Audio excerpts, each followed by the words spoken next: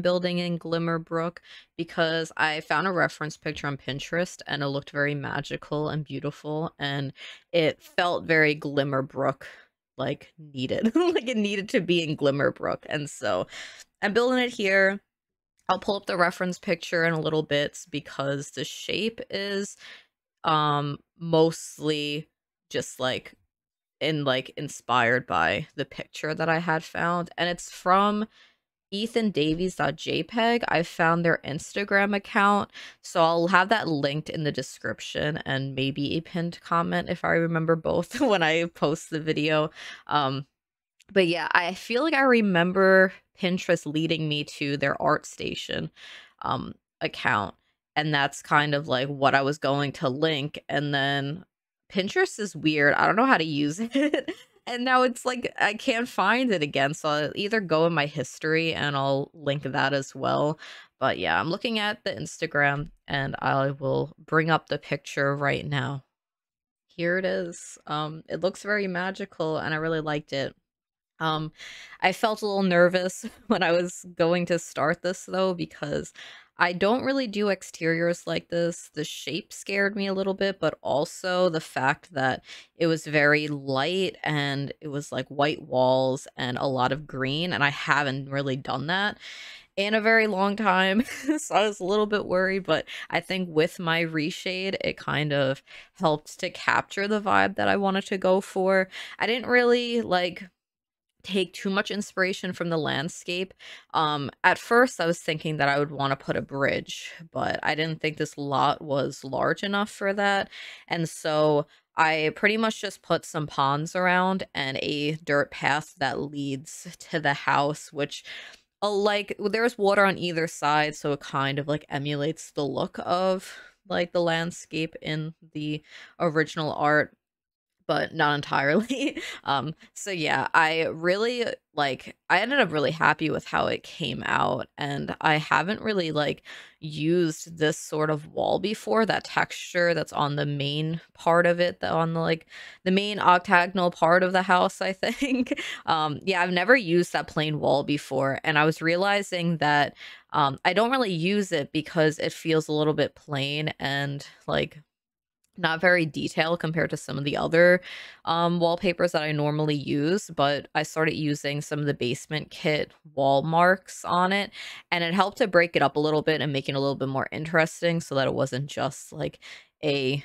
blank um, white wall, which I guess even in the reference picture, it looks like there's some tears in the original texture, and you could kind of see some of the stone and brick that is underneath of it. And so I really like that anyway. and so I made sure to like add a bunch of that because I really like distressed looks in my builds. And yeah, so here's the landscape. I just like I wasn't going to do a full bridge. it wasn't going to happen. And I feel like this was sort of like the better option to do if I wasn't going to look and debug and bring out a whole bridge. And yeah, I like how it came out. I feel like it could be really cute to watch your sim walk down the path. Um, even though sims don't tend to follow the paths that we lay out in the game, but I feel like they should because it is a dirt path, and I think Sims are supposed to follow terrain paint that you place on the lot. Um, I could be misremembering that, and it is also built in fall. It's a little bit less vibrant than some of my more recent fall builds that I've been doing. Um, so like last week's, it had a lot of bright um, yellows and stuff. And this, it feels very toned down. Um, the yellow trees are more like a greenish yellow, like the leaves are just starting to turn color. And the reds are very dark and almost like a burgundy color. And I really like that. The entire like lot, it feels a little bit darker I did it in partly cloudy weather because it's really hard to find good lighting in Glimmerbrook. Um, I always struggle with it, and so I usually tend to like not build in it as often. But I've gotten a little bit more comfortable with like cheating the time of day and knowing which weather I want. And I think I would have liked this to have been a little bit more lit up and a little bit more sunny, but I'd have to like stop it at a perfect time in between the weather changing from like um cloudy to like partly cloudy because I didn't want it fully partly cloudy because that's too bright. So it was it was a whole thing. But yeah, I do that using MCCC. I think that's the correct number of C's. Every time I say it, I think about Siren Witch laughing at me for like really trying to think too hard on what it's called because I can never remember how many C's are in that. But anyway, that doesn't matter. And I was really surprised with how well the roof came out. I think that that was the part I was like, okay, if you can't get the roof down, uh, you're gonna have to just bulldoze the entire lot because I don't know what to tell you. and it ended up working out really well. I didn't comment on it as I was doing it because I guess I was talking about something else, but I used two round roof pieces, one on the upper level, and I had to size the walls in a little bit to make it fit perfectly and then the other one is just a smaller version of that and to connect like the front part of the build to the like back part a little bit i added another um roof piece that kind of like um blended the two together and it worked out really well. So there's only three roof pieces in this and i really like how it ended up coming out. And yeah i use a lot of debug and live edit objects when I'm doing my landscapes. I also add some ducks. I always forget that I can use these sorts of things. So I guess I opened the menu and I was like, oh, these are here. so I added a little duck spawn and I added some fireflies around. So if I can remember, I'll take a the intro video of this while the fireflies are out and so I'll have to mess around with the lighting a little bit because I haven't recorded that yet. I'm like doing this kind of late. It's Saturday and I post these on Monday, so I'm kind of having to do everything in the next couple of days when I usually have it done by now. But um, I haven't been feeling the best, so I pushed it off until I was feeling more capable of talking into a mic for 20 minutes without feeling weird and awkward. Because sometimes it does feel that way if I'm like, my mood's a little bit down I don't want to like force um a voiceover because then I feel like uh, I'd be suffering through it. And I feel like it might like come through in like my energy and stuff and be a little bit different from like what you're used to seeing, I guess. Um, but yeah, I now I'm doing the floor plan of this, and I really wanted to use this odd space over here because I didn't want it to just be empty. And I decided to do that by finding a shelf sort of thing that worked, but nothing really was working in the shelf category. So I went into the exterior detail section and I'm using these sorts of little things that I think are usually used underneath roof pieces to kind of add a little bit more detail. And so I did that with this instead and I put a bunch of clutter on it and stuff after. But right now pretty much all I'm doing is kind of doing the floor plan. I've been like splitting up my videos into chapters lately, and lately has probably only been the last one or two. and so this whole part would be the floor plan because I'm not really decorating each room, even though I'm putting some items in. These items are mostly just to figure out the whole floor plan of the house because once you get the kitchen done everything else kind of comes together because you could like squeeze a dining room table in you could take away chairs and you could like mess around with stuff like that but for a kitchen you really need enough space to have like somewhere to cook the um the fridge and the stove. I don't know why it took me so long to figure out the words for those. I don't know what's going on. Um, spoiler, this isn't a spoiler. I don't know why I'm saying it's a spoiler, but um, a behind the scenes info is that I had to re-record this entire voiceover. so I sometimes forget what I'm talking about. Um, because normally I have my mic like further away from my PC and I'm talking a little bit back. Um, and for some reason, I'm like, oh, I could be directly next to my PC that's super loud.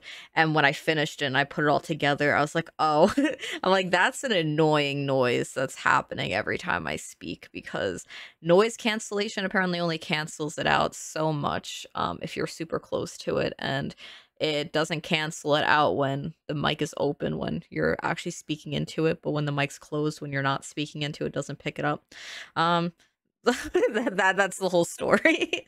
um but yeah, now I'm doing the bedroom and I used the same wallpaper that I used outside. I guess it's almost like a plaster um looking thing. I don't usually use that, but because I was using the wall details and stuff, it ended up feeling less like cold and less um uh like blank because I'm not one to really use a lot of wall art. I use it occasionally and I use like a little bit here and there like I am in this room like there's two. Um because it gets repetitive for me and I never know what to use. So I'm like for some reason paintings are like the one thing where I don't like using the same ones all the time even if they're different builds because I get bored of seeing it and so I don't really do it very often but I don't get bored of wall cracks I use jungle adventure wall crack in this room and I use the basement kit wall marks that are like kind of new now that shows like the brick underneath and stuff. It's the same ones I used on the exterior, but just in the interior. And I believe I used this wallpaper throughout the entire house and I just use wall marks to kind of like break it up a little bit. But yeah, I really like how the bedroom turned out it feels like it follows a certain like color scheme like there's the blues and oranges and stuff and i'm trying to pay attention to the lighting because um Mossy Sim had posted like demanding me to tell her how I give my builds the glow that they have, but I guess it's only some of them because I don't know if this one would have that glow that she's talking about. Uh, because normally I have like very dark rooms and not a lot of windows, and so I think that the candle glow is a lot more intense in those sorts of builds because I always forget windows a lot of the time. So most rooms will have like one tiny window somewhere. Um, but yeah. and now I'm doing like a little painting studio area because I figured like I don't know, this was screaming painter to me for some reason. And I piled up some um plants just in front of the window. So it seems like the owner is kind of just like trying to create enough sunlight for their plants and they don't really care about the plants as decoration and they more care about it as taking care of it and so they have just like them scattered around the window in the um, staircase area and they have like the tools that they could water the plants and take care of them and stuff because i think that like that's more realistic than having plants in spaces where there's no window like that. Giant plant in the bathroom would get no sunlight um because like my plants in my room i just kind of like have them blocking most of my window and i've repotted them recently and so they're two giant pots now for them to grow a little bit bigger and i've noticed that now my room's a lot darker because i have two giant plants just blocking some of the sun so I guess that happens for this person living here too. Um, but yeah, I think the upstairs is pretty much done now. This is only a one bedroom and one and a half baths. So the upstairs bathroom it has a little bathtub, but the downstairs area just has a sink and a toilet. And it felt like I feel like the space was used pretty well for this build. I was surprised because it is an odd shape, so there's definitely weird corners everywhere, but I think it's all right. Some of the corners I kind of just cut off, like in the dining room, I just put a bookcase in front of one of them, so it doesn't really use the space, but most of the other ones are used fairly well, I think. And I never get to use this um this fireplace, the word wouldn't come to me. And that one's from Cats and Dogs because I always use the cottage living one, but I'm sure you had seen before that I try to use it. It just like it was an awkward space and it looked a little bit funny. And this one kind of fit perfectly in it because it was only two tiles, where the other one was three tiles, even sized down. Um, it didn't work. so this one worked better. And I put a bunch of empty plant pots around because I felt like I'm like, yeah, this person, they love gardening, they love painting. And so I was trying to like bring those little two hobbies throughout the build a little bit. Like I put a painting area in the dining room. It's just like a base game it's like under sculptures and it's like a little cart that has different paint on it and stuff because I figured I'm like they'd like to paint in the dining room I think but yeah here I'm like blocking that little piece even though originally I didn't want to block any of the space it just wasn't working And I'm like, yeah, no, I'm just gonna put a bookcase here. I never use that bookcase either. I, that might be one of my first times using that bookcase. I guess it spoke to me because I'm do I'm using swatches that I don't normally use because I usually build with like very dark tones, and it's always like the darker wood, and this is all the light wood and some swatches, they just like the wood, like the darker wood looks a little bit too orange and I don't like that in most of my builds and this I guess like this specific book case the lighter swatch ended up looking really nice, but I'll definitely try and see what the other ones are like and maybe use them because I like the clock inside of it. Um, yeah, the dining room, I put a lot more clutter in here than I did with the other rooms, just because I had all these shelves. and originally I thought that the kitchen was the most cluttered because I had those little pantry areas, but they're pretty small and you can't really see them very well. So I definitely think the dining room is the most decorated, even though I felt like this was me being a little bit lazy. and I'm like, I'm just going to throw these items around. Um, but I think I picked out a good variety of stuff. And I remember I placed down some dishes because I forgot that we have dishes in the game. We have them in like Snowy Escape, and we also have them in the new Horse Ranch pack, but I have not used the Horse Ranch ones yet. But yeah, here I'm guess I'm putting more wall art in. This is like a big thing for me. I usually don't put that much wall art in. I put three. I think this build has five pieces of wall art, and I'm like bragging about how I'm actually using it.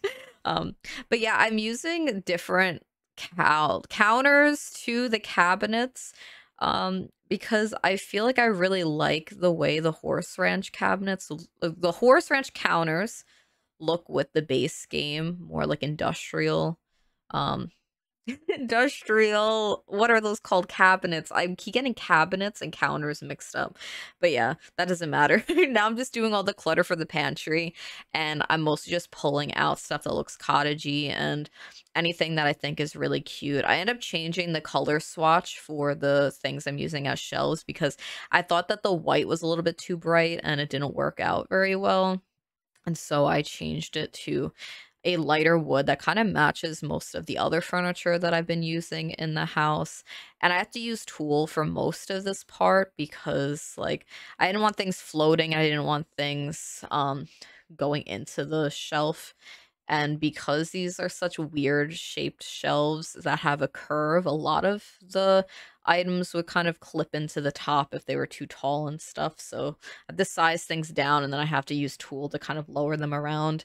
And I feel like the last thing that I always do when I'm decorating a kitchen is I just sort by the country kitchen pack because it feels like so easy. I'm like, I could get the bulk of this clutter done by just searching through there and I really liked the white pumpkin next to the it's like a it's a um not a horse treat. It's like a llama and cow treat, I think. Um it's like a pumpkin one and I felt like it looked really cute next to it, so I add some of those. I add some bags of sugar around and just little bottles and some wine. And I feel like it really it feels realistic. you wouldn't really have open sugar just sitting out in your pantry like that. But I did like this little pantry idea because I like when people do pantries, but it just takes up a lot of time. But it worked for this one because I didn't know what else to do with that space. And that's pretty much the whole video. I now am on the exterior and I'm just putting little details out here like a bench and some planters and I had some candles and I was originally going to like um light up the place with these so it was like really nice at night but it just I don't like too many um objects being seen while I'm looking at it in the daytime and so every time I do a really pretty at night and I turn on I don't turn on the sun. this is the second time I said that. Um, when I turn, when I change the lighting to daytime, um, I don't like how like busy it looks, and so I didn't even. I like gave up after putting like a few candles down. But yeah, that's the whole video. Thank you for watching. You could find me on Instagram and stuff like that. My socials are all below. But yeah, thank you. Bye.